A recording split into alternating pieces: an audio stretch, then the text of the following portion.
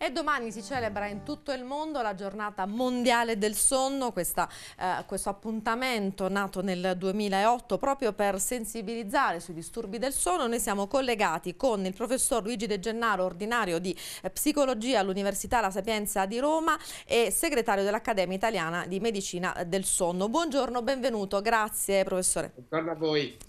Allora, beh, domanda d'obbligo, che cos'è il sonno e che cosa succede nel nostro organismo quando dormiamo? Beh, il sonno è evidentemente un bisogno fondamentale dell'individuo per il corpo, ma soprattutto per la mente. Che così sia ce lo dicono tante cose. La prima, la più importante e anche la più banale.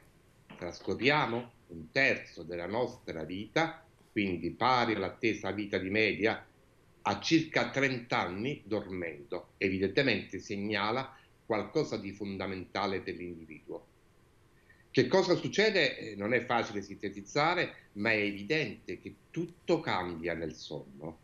Cambia la neurochimica, cambia, ma questo è banale, il riposo del corpo, ma cambiano i sistemi cardiovascolari, digerente, sostanzialmente è come se fosse un mondo a parte, diciamo così, il mondo del corpo e del cervello che dorme, con delle sue peculiari regole, che poi sono quelle che noi studiamo oppure su cui noi interveniamo quando o abbiamo a che fare col sonno normale o abbiamo a che fare col sonno patologico. Ed è di tutta evidenza allora, professore, che esiste un, uno strettissimo legame tra il sonno e la salute fisica?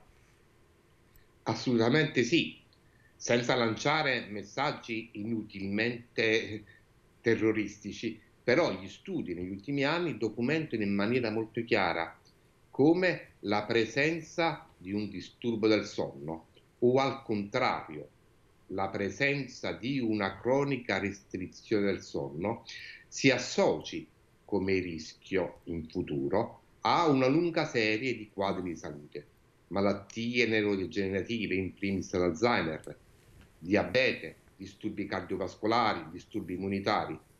Se, ripeto, senza allarmare perché certo. si chiama eh, fattori di rischio per il futuro, però sostanzialmente segnala ancora più il bisogno di in qualche modo proteggere il sonno, quando è sonno normale, o al contrario di trattare efficacemente e tempestivamente quando siamo in presenza di un disturbo del sonno. Professore, ci sono dei fattori ambientali anche di stile di vita che possono influenzare la nostra qualità del sonno? Beh, la risposta è immediata, certamente sì. Prendiamola così. Mm. Sostanzialmente quasi un italiano su due, prima o poi nel corso della vita, ha quella che si chiama insonnia acuta, insonnia a breve termine, minore di tre mesi, ma più rilevanti clinicamente ci sono persone che hanno in misura di 1 su 7, 1 su 8 un'insonnia cronica. Tra i fattori, eh, insonnia cronica ovviamente con una durata maggiore di tre mesi e l'altra forma vera e propria patologica, tra i fattori che sono alla base dell'insonnia cronica, in primis rientrano proprio gli aspetti di vita, cioè gli stili di vita e le condotte che noi abbiamo. Non è un caso che le raccomandazioni internazionali nell'approccio al paziente con insonnia raccomandano trattamenti esattamente finalizzati a modificare abitudini e credenze verso il sonno. Faccio un esempio così ci capiamo. Sì. Un'appropriata credenza. Alcune persone, alcuni pazienti con disturbi del sonno, avendo problemi notturni, schiattano il sonnellino diurno. Mm-hmm evidentemente è una strategia ingenua, non riesco a dormire la notte e almeno dormo durante il giorno. In realtà con questo tipo di credenza e poi col comportamento che mettono in atto tendono a cronicizzare il disturbo. Perché? Perché il meccanismo di sonno, che già è problematico di mm. sua partenza, viene reso ancora più fragile dalla parziale soddisfazione del bisogno di sonno nel sonnellino pomeridiano. E lì paradossalmente una buona intenzione, il sonnellino pomeridiano, esita in qualcosa che va a cronicizzare il disturbo. Eh. E allora, professore, eh, qualcuno direbbe che bisogna ingannare il cervello, eh, leggevo da qualche parte, ora non so se è un'espressione eh, diciamo eh, idonea per certificare questo tipo ecco, di situazione che lei descriveva. Eh, le vorrei chiedere allora come si affronta l'insonnia. Guardi, il criterio è molto semplice ed è per certi versi sorprendente, mentre per le insonnie a breve termine, quelle che prima o poi tutti quanti incontriamo nella vita. Prima dicevo un numero apparentemente spaventoso, uh-huh. una persona su due prima o poi nella vita incontrerà un problema di insonnia. Le raccomandazioni internazionali dicono molto chiaramente la scelta è quella farmacologica, però a breve termine, visto che parliamo di insonnie acute.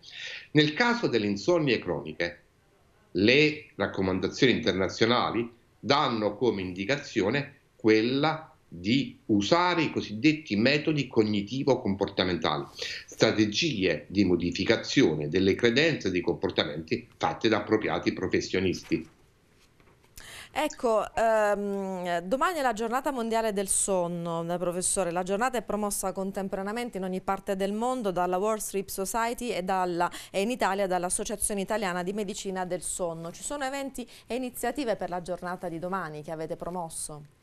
Beh, direi di sì. Una, eh, mi permetto di dirlo, che personalmente organizzo ormai da sei anni, è quella che abbiamo chiamato la maratona del sonno.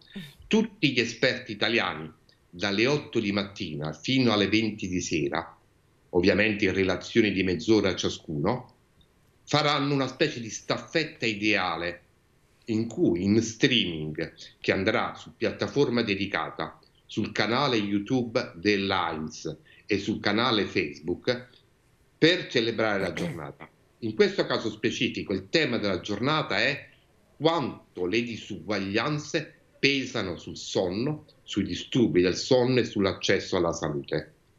Oltre a questo evento, che è importante, chi fosse interessato tra, tele, tra gli ascoltatori, sì. segnalo, potete andare al sito della società eh, sonnomed.it sonnomed.it e lì ci si può iscrivere oppure se non ci si può iscrivere, gratuito ovviamente, si può seguire sul canale YouTube di nuovo digitando e cercando il canale YouTube dell'AINS. L'AINS è l'abbreviazione di Accademia Italiana in Medicina del Sonno.